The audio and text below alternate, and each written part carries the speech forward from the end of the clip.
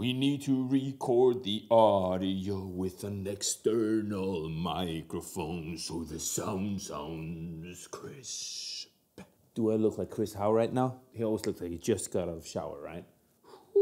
Yo, yo, Karla Fretta. My name is Arnulfur. I am not Chris Hau. I am Arnulfur. I know that sound is really my name. And today I'm going to show you how easy it is to invert your colors and make you beautiful in Premiere Pro, alright?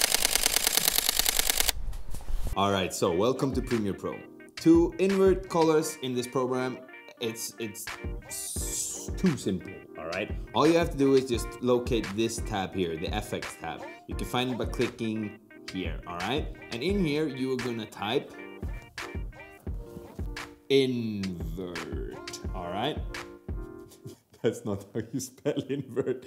We're gonna give it one more shot, okay? You're gonna type invert, all right?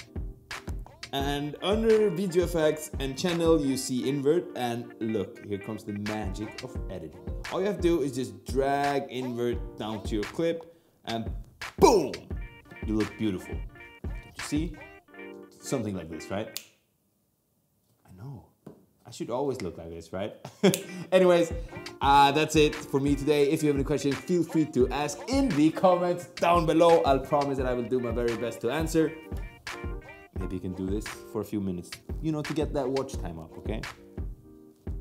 I'm kidding. I'll see you guys in the next video. I'm out there. Peace.